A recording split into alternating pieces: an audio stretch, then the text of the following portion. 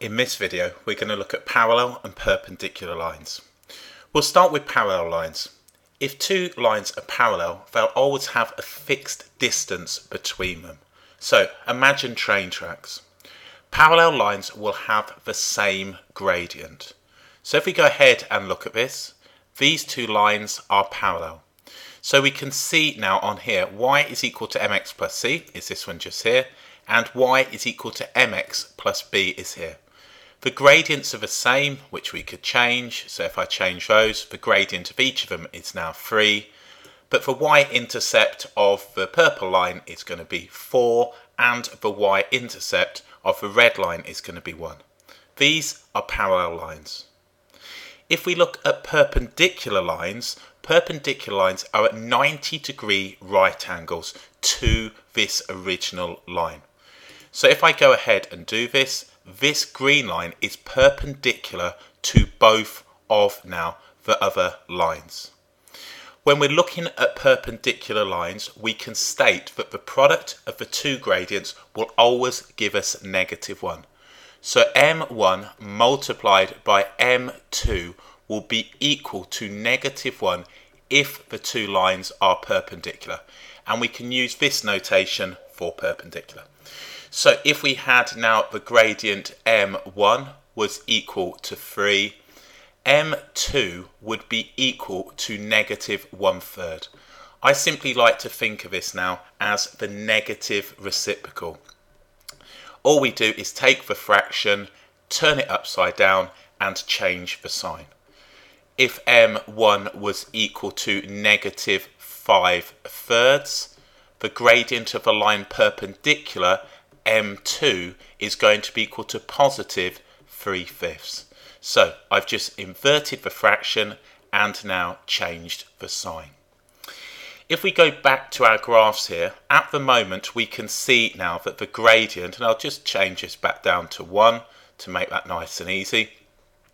If we look at this one just here, we can see the gradient now of the red line is 1. The gradient of the green line is negative 1. If we multiply 1 by negative 1, clearly now we're going to get negative 1 and they are perpendicular.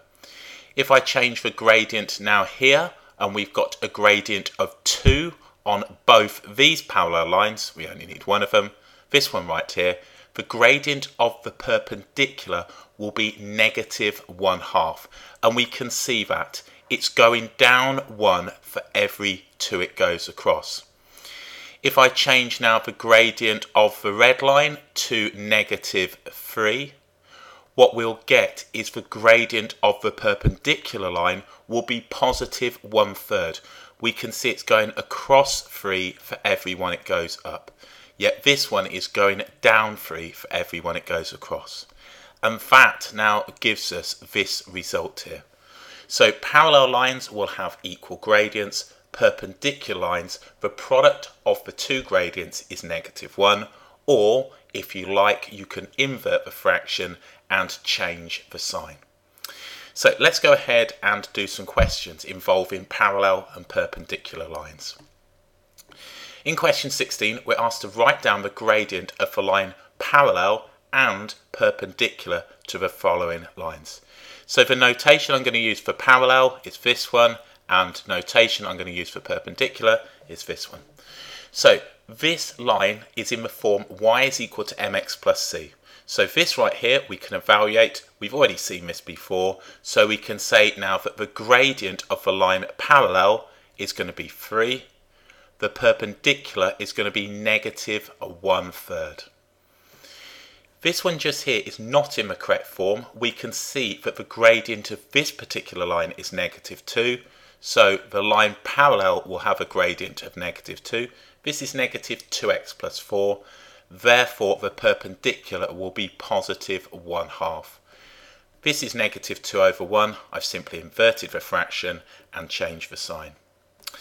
Okay, if we just rewrite this one, now we can write this as y is equal to negative x, just by simply subtracting the x from both sides.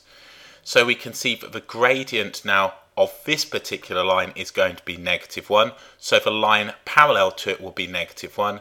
The perpendicular will be positive 1.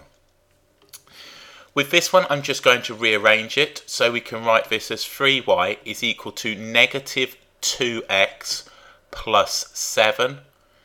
Dividing through by 3, y is equal to negative 2 thirds x plus 7 thirds. The gradient of this line is negative 2 thirds, therefore the line parallel will be negative 2 thirds. The perpendicular will be positive 3 over 2. This one just here, let's just rearrange that. We can say now that this is qy, by adding qy to both sides, is equal to px, and then we're going to have minus 4. Dividing through by the q, we're going to have p over qx minus 4 over q. The gradient of this line is going to be positive p over q, Therefore, the perpendicular will be negative q over p. So that is just evaluating the gradient now of a line parallel and perpendicular to a given line. In this question, we're asked to find an equation of the line 1 parallel to and 2 perpendicular to the line y is equal to 5x plus 1 that passes through the point 2 comma 4. For the equation of a straight line, all we need are two things. We need a gradient and a point that it goes through. So for the parallel, we're going to have the gradient m is going to be equal to 5, as we can see here, and the point we're going to have is going to be 2 comma 4. For the perpendicular now, the gradient m is going to be the negative reciprocal of this, which is going to give me negative 1 fifth, and then we're going to have the point and that again is 2 4 we're asked for an equation. That means we're not asked for it in a particular form and we can write it as we wish so I'm going to use now y minus y1 is equal to m the gradient x minus x1 as I've looked at in the past. You're more than welcome to use a different approach. So for the line parallel, y minus 4 is going to be equal to 5, then we'll have x minus 2. If I wanted to tidy that up, I could write that as y is equal to 5x minus 10 plus the 4, which is y is equal to 5x minus 6. So nice and straightforward, nice and logical. This one just here, y minus 4 is equal to the gradient, which is going to be negative 1 fifth, and then we're going to have x minus the minus 2. I'm going to write this in the form ax plus by plus c is equal to 0, multiplying through by the 5, 5y minus 20, and expanding the brackets will be equal to negative x, so negative x plus 2. So we're going to have now x plus 5y, and when this writes on, for some reason it's not, uh, minus 22 will be equal to 0. So that's a 5 rather than a 6. Okay, so that's done. I'm really not sure why it's not enjoying writing over there. So if we have a line parallel, the gradient will be the same. Perpendicular, it will be the negative reciprocal. If you're asked to show this, you can write m1 multiplied by m2 is equal to negative 1 if perpendicular. Some exams give you a mark for writing that. Okay, the perpendicular bisector of the line segment AB crosses the x-axis at the point P. Given the coordinates of A are 2, 1 and the coordinates of B are 6, 4, find the coordinates of the point P. Okay, this is the perpendicular bisector. A perpendicular bisector cuts this line in half and it is of course at right angles. Right angles means that it's going to be perpendicular and we can use now this with the gradient. So A is just here, which is 2 comma 1. B is just here, which is 6 comma 4. So as I said in my first video, if in doubt, sketch it out. So what we want is the midpoint. So we've got now the midpoint and the midpoint on here, and I'll just jot it here, and that's a capital M for midpoint. We've got 2 plus 6 divided by 2, and 1 plus 4 divided by 2. So that's going to give me the midpoint, which is going to be 4. And then on here we're going to have the midpoint which is going to be 2.5 or 5 over 2. You can do that purely uh, graphically if you wish or uh, using geometry if you wanted. I'm going to use the midpoint. Okay, what we're looking for then is the line that goes through here that is now perpendicular. So what I'm now going to look at, lowercase m, m1 is going to be the gradient of AB. I could have written MAB. So what we're going to have is the change in y, 4 minus 1, over the change in x, which is going to be 6 minus 2. That's going to give me on here now 3 over, what we're going to have, 3 over 4. Therefore, m2, which is going to be the gradient of now this perpendicular line, or we might hear normal. Normal is also um, uh, something that you might hear for a perpendicular line. The normal is going to be negative 4 thirds as m1 multiplied by m2 will be equal to negative 1 if perpendicular. So what we've got here now is the m2, the gradient of this line is going to be negative 4 thirds. So I'm going to find the equation of this line, the perpendicular bisector, and we've got exactly what we need. y minus y1 is equal to m the gradient x minus x1. For the equation of a straight line, we need two things. The point that it goes through and a gradient. So we're going to have y minus the y coordinate, which is going to be 5 over 2. And that's going to be equal to negative 4 thirds. And then we're going to have on here x minus v4. So that now is an equation for the perpendicular bisector. We're told now that it crosses the x-axis at the point P. So what we're going to have here is the following. We've got now, if it crosses the x-axis, y will be equal to 0. Now I haven't put this in any particular form, um, as I'm just going to work from here. So I'm going to, at this stage, divide both sides by negative 4 thirds.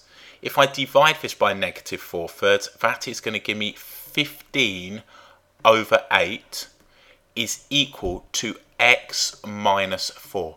You can go ahead and solve this equation any way you like. And then I'm just going to add 4 to both sides.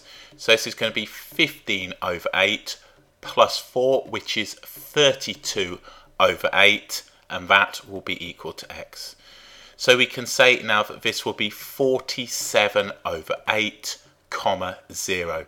And that now is going to be the point P. So all I've done is simply now found the perpendicular bisector of the points A, B. I've found the midpoint, which is the, the bisector part, and then the perpendicular, which is going to be now the gradient of AB, finding that, then it's the negative reciprocal, substituting into a straight line, and then finding this point P. Quite um, a bit of work involved in that one, but again, we should be fairly happy with finding a straight line. Okay, it says the lines x plus 3y minus 4 equals 0 and y is equal to mx plus 2 are perpendicular. We need to find the value of m. Okay, let's go ahead and look now at the gradients. So what we've got then is the gradients and we'll consider the gradients. So on this one we can write this now as 3y is going to be equal to negative x plus now 4. All I'm doing is rearranging this in the form y is equal to mx plus c. Okay, so let's now do that. So all I've done is rearrange. So uh, 3y is equal to negative x plus 4. So y is equal to negative 1 third x plus 4 thirds. So that now is what we've got. So I'm going to say that m1 is equal to negative 1 third. If we now consider the next one, y is equal to mx, and then we've got plus 2. So if I call this one m2, m2 is going to be equal to m. We can state if perpendicular, m1 multiplied by m2 is going to be equal to negative 1. Therefore, on here we can say now that negative 1 third m multiplying these two is going to be equal now to negative 1 and then from here we can say that m is equal to 3. So m is equal to 3. So that's one approach. Alternatively, you could have looked at that and thought, well, it's the negative reciprocal of this one, therefore we could have written it down. But being an exam type of question, I would want to show full workings. So from here, we can see now that the gradient of this line is negative third, this one is going to be 3. I'm not going to leave that chance, I'm going to state this and then just solve the equation. But of course, you can just write down that that's going to be 3. Okay, let's look at another one. Given the lines px plus q equals 0 and 2y equals 3 plus 5qx are parallel, express p in terms of q. Again, very similar approach. Let's start with this one. So rearranging this, y is equal to negative px plus 0. So that is the first one. And then if we look at this one now, I'm just going to rewrite this and we can divide both sides by 2 and say that this one, y is equal to 5 over 2 qx plus 3 over 2. So from this now, we've got these gradients. Therefore, if these are parallel, we can say now that negative p will be equal to 5 over 2 q all I'm doing is looking at the gradients and if these are parallel they will be the same. So we need p in terms of q so simply dividing now by negative 1 so we've got negative 5 over 2q so express p in terms of q. P is negative 5 over 2q that's just showing that we know that parallel lines have equal gradients Okay, in question 21, we're told the line L passes through the point negative 1, 5 and is perpendicular to the line 2x plus 4y plus 7 equals 0. The line meets uh, the line L meets the line y equals 3x plus 8 at the point P. We need to find the coordinates of P. So let's start off with the line L. It's perpendicular to this line and passes through this point. All we ever need for the equation of a straight line is a gradient and a point that it goes through. So let's start off with the gradient of a line that it's perpendicular to. So if I just rearrange this one just here, what we've got then is the following. We've got 4y is equal to negative 2x and then we're going to have minus 7. So y is equal to, dividing both sides by 4, negative 1 half x minus 7 over 4.